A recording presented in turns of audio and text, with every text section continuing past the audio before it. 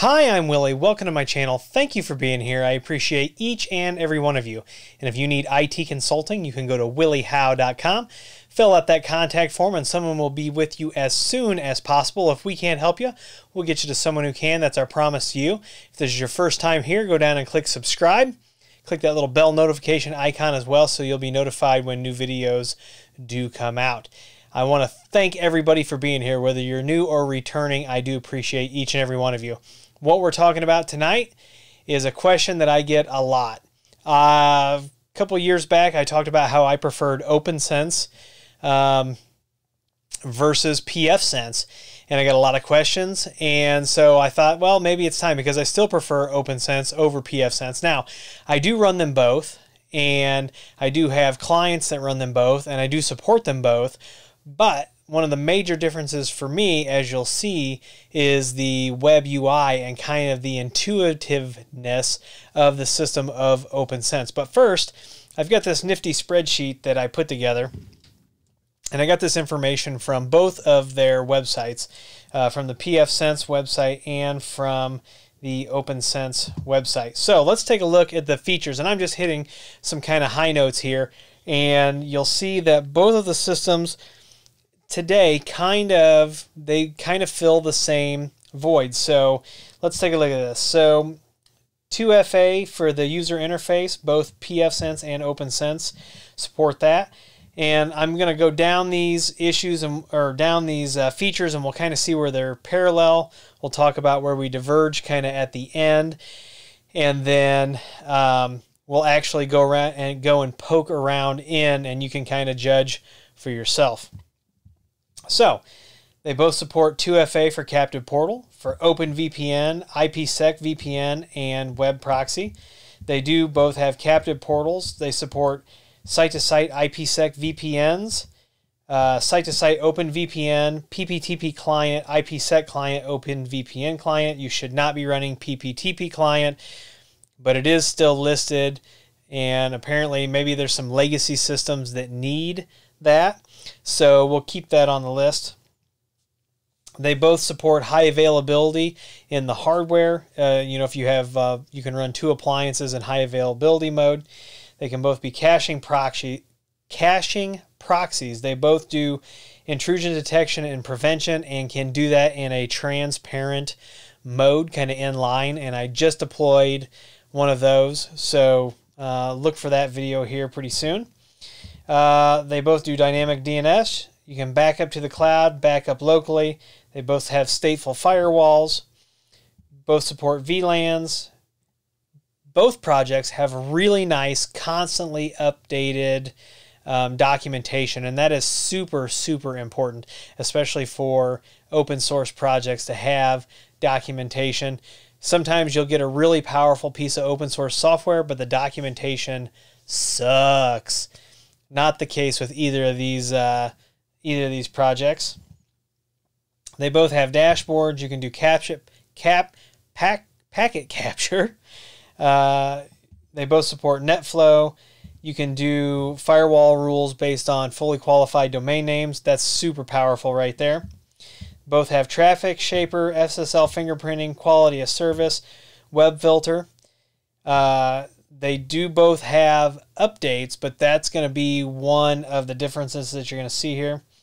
Um, they both support port forwarding, one-to-one NAT, outbound NAT, hairpin NAT, IGMP proxy, universal plug and play, DNS fil- filtering via OpenDNS, um, and you can do DNS filtering with more than just OpenDNS.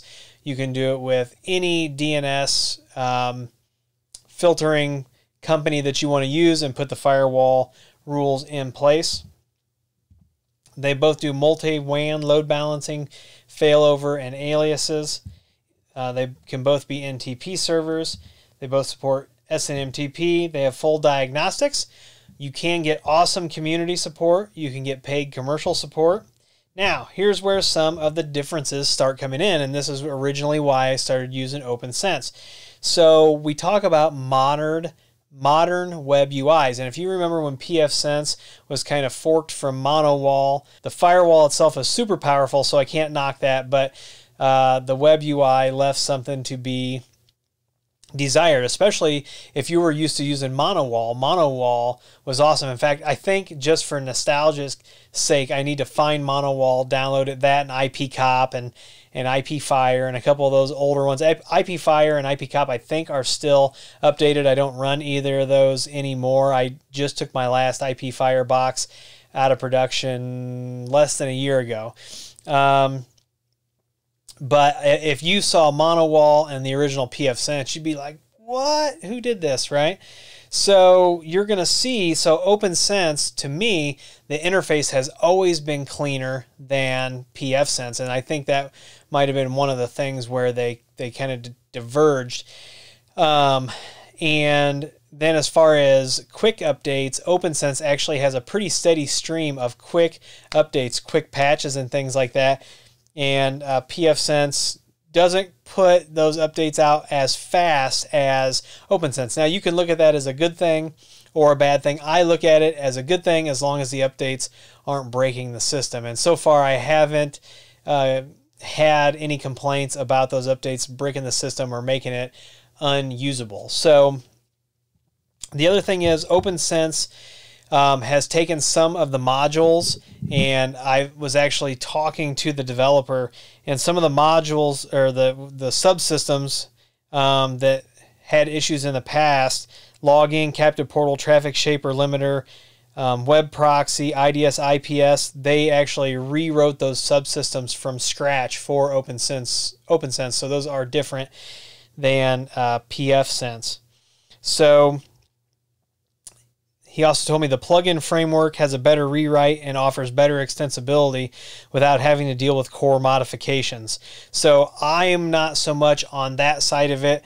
Uh, I don't do any development really um, for the system. I just take what they've given us and use it, right? So, um, and the other thing that I'm not sure about with pfSense, but I know for sure with OPNsense, is that the, the two factor authentication will work with a remote Radius server.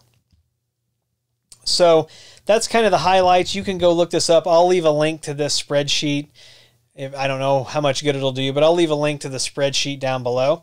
Now, here we are. We're going to put uh, pfSense and OPNsense side by side. So what I've done is these are vanilla systems. They're installed in VMs, and we're logging into the LAN interfaces, default passwords, and everything. So just looking at the system, here's the dashboard for pfSense, and here is the dashboard for OPNsense. I'm a, a I, I don't know what's hardwired in me for what, but I like those menus on the left-hand side instead of those drop-down menus. And I will tell you that the reason you know that I originally started using OPNsense is because the system looked it looked it was to me it was more it was better organized and it was easier to use so what i don't do is i don't sell a system uh, unless you want it you specifically request it where you have to keep calling me for support every time right i'm going to package solutions together for you so that if you want to manage this on your own, it's easy, it's intuitive, it takes very little training. We can get you up and rolling, take the training wheels off, and you're set. I didn't feel like I could do that with pfSense. The menuing system, if we look over here on OPNsense, it's very nice and clean. And even though they have changed this uh, on pfSense, we still just have these menus up here. And I just, I don't feel good about the menus. And it's just something about taking this and put it in front of a customer. Um, it can be very daunting. Whereas you have this nice, clean layout and kudos to OPNsense.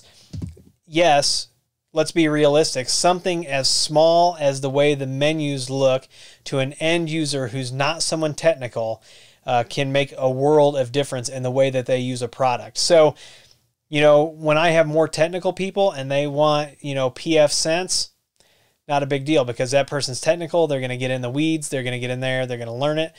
You know, if somebody wants to manage their network, OPNsense is going to do everything pfSense is going to do, but me, it, it in my opinion, it's got a fancier bow on it. It looks better. It's more intuitive as you're walking around or as you're navigating the uh, the menu structure.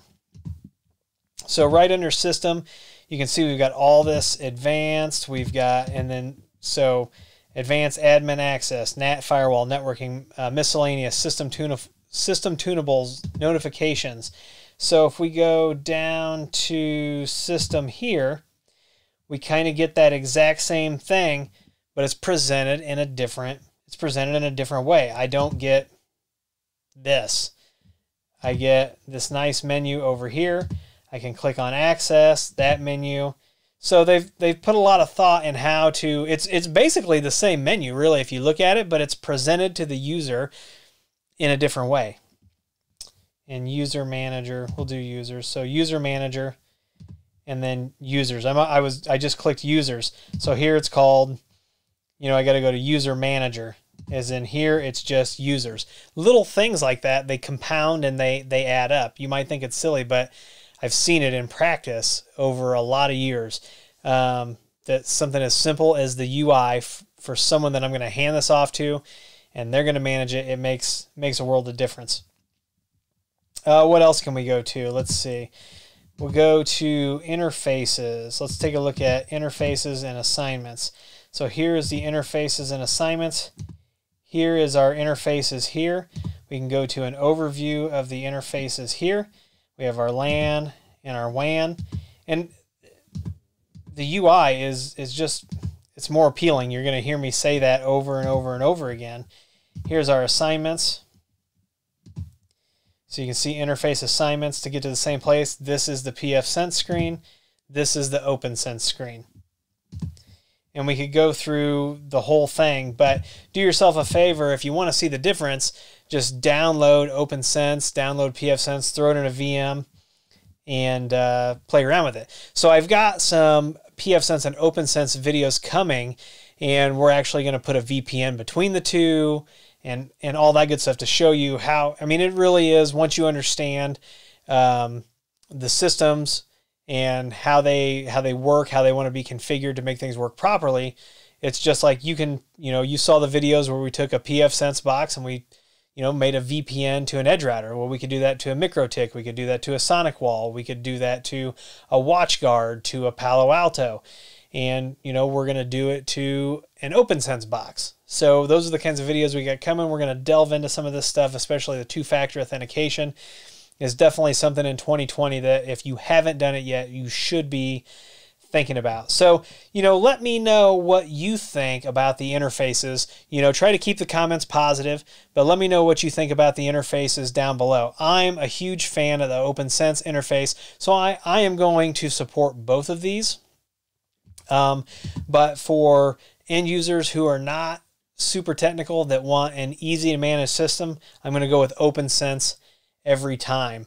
Uh, I've not been burned with it yet, so I don't see any reason. To, you know, I, I was actually uh, was talking to somebody and they said that those updates that come out so quickly is part of the reason they don't use it. But as long as the updates aren't causing problems and they're tested, I've got no problem. I'd rather be up to date um, than waiting for someone to turn around. Now, pfSense does, when there's a, a critical issue, they do get those updates out very quickly. So I'm not saying anything uh, negative about that. What I'm saying is the reasons why I use this and why I am, you know, driven to use it and and give it to my users. So I've got some OPNsense content coming, some more pfSense content. So hang in there. It is going to be a, uh, a week or so or a week or two. I've got some Grandstream videos coming out, but definitely look for this. This is going to be on deck along with some other Cisco videos.